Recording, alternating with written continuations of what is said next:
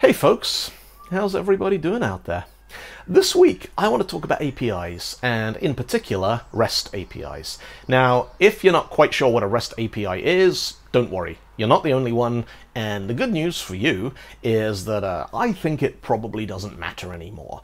But this is something I've been thinking about for a while now, and I've seen a couple of folks talking about it online over the last few weeks, and so now seemed as good a time as any to uh, kind of pull all these thoughts together and turn them into this video.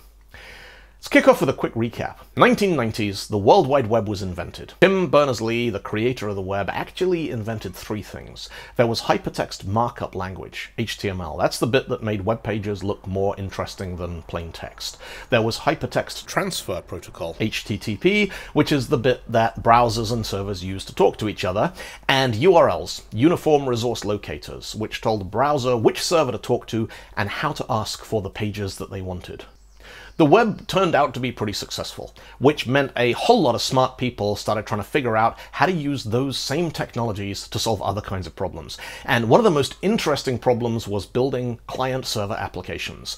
Instead of just using a browser to browse websites, could we build rich client apps that used the same protocols and patterns as the web to talk to a central server? Turns out the answer was a resounding yes, we can.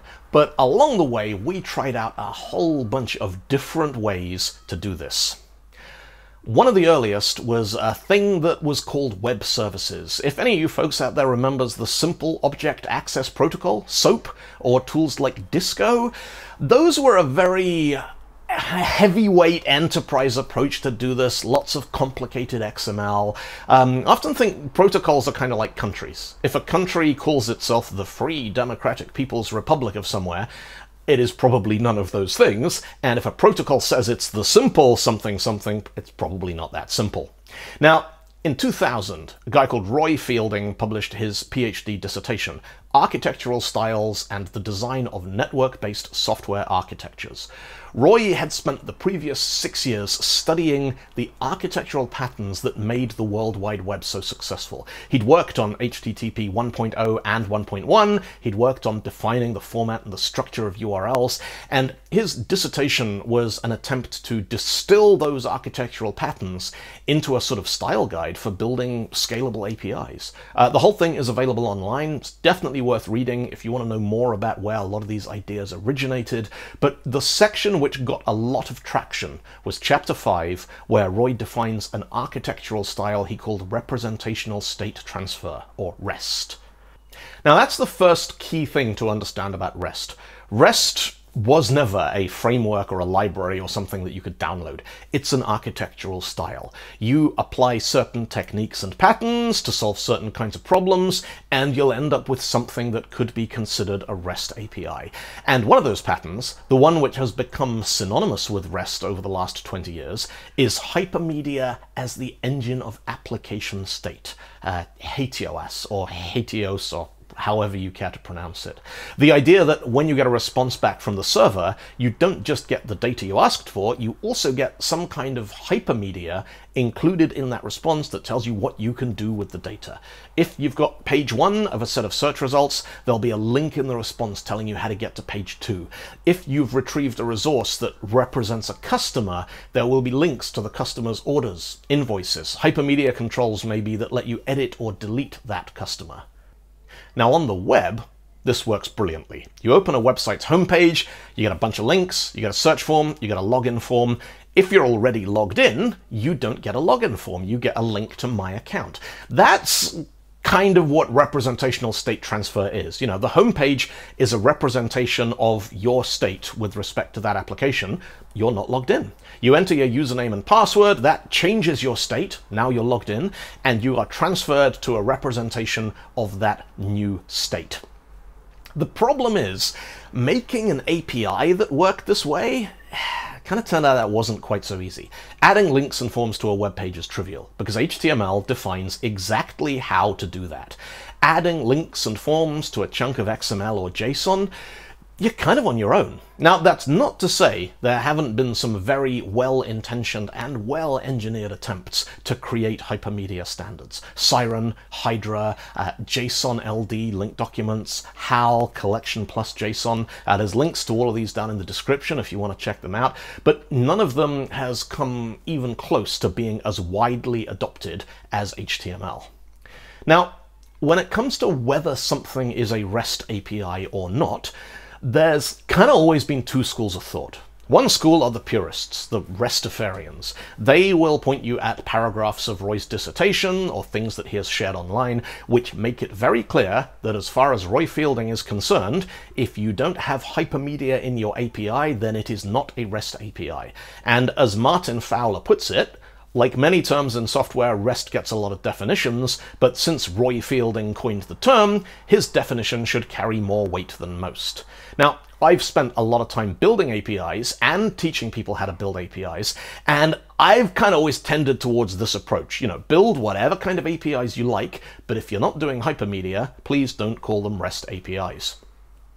In the other camp, are the folks who use REST as a sort of uh, convenient umbrella term for whatever isn't the enterprise buzzword trend of the day.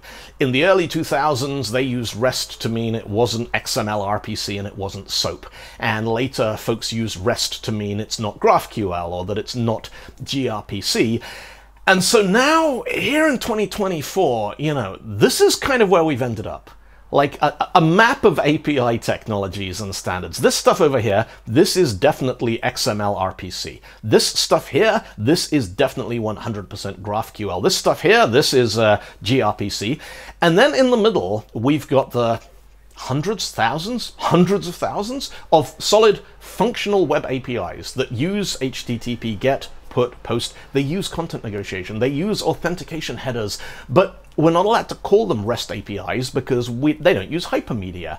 And we can't just call them HTTP APIs or web APIs because technically everything on here can legitimately claim to be a web API that uses HTTP. Now, there is one project that I think has done more to promote this style of API development than anything else, and that project is uh, it's the project that used to be called Swagger, and then the bit of the project that defines the API format specification that was renamed to OpenAPI, but the tooling that supports it that is still called Swagger, and you know, I don't think it's unreasonable to say that OpenAPI and Swagger has kind of done what REST was supposed to do. Oh, actually, no, not quite. I think the dream of REST was that smart API, API clients could consume hypermedia resources and build dynamic user interfaces. And, you know, as much as I hate to see it, I think that 20 years on, it turns out the best way to build this kind of dynamic user interface is to use HTML links and forms to build a web app. But what OpenAPI has done is to create a de facto standard for interactive, discoverable, well-documented APIs that work harmoniously with the fundamental mechanisms of the web, like HTTP methods and response codes and content negotiation. Roy Fielding wrote in 2008 that REST is software design on the scale of decades. And, you know, that sounded pretty good. And I don't think he was wrong. The thing is, I think very, very few organizations are actually building software at that scale.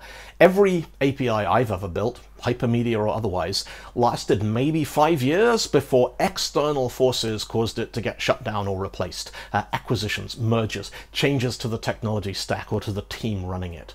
The scale of decades here, you know, that implies a solution that evolved smoothly from Netscape Navigator and 56k dial-up modems to Apple Vision Pro headsets on gigabit Wi-Fi, and I think there are just too many other discontinuities along that journey which you cannot mitigate by using hypermedia. Hypermedia is a fantastic pattern. For things like pagination, for linking to related resources, it's great. For building rich UIs, single-page applications, and mobile apps, GraphQL turned out to be a much better pattern. If you need high speed, low power, low bandwidth, you should check out gRPC. But if all you need to do is to expose data and behavior across the web, OpenAPI has pretty much hit the sweet spot for that. And so it kind of seems to me like we have a choice. You know, we can agree that REST means hypermedia. We can accept that very few of us actually do that properly anymore. And REST can uh, rest in peace. Or we can agree that if you're doing puts and posts and content negotiation and you are absolutely positively never returning an error message inside a 200 OK response, then if you want to call that a REST API, ah, maybe that's all right. You see, language evolves to reflect usage. In a moment, I'm going to thank you all for tuning in. Despite the fact this is on YouTube, it's digital, and even if this was on television, nobody has actually selected a television channel by tuning a dial to a particular frequency for ah, probably a couple of decades now. But I'm going to say it anyway. Thanks for tuning in. I hope you folks found that interesting. You have a good week. Look after each other. I'll see you next time.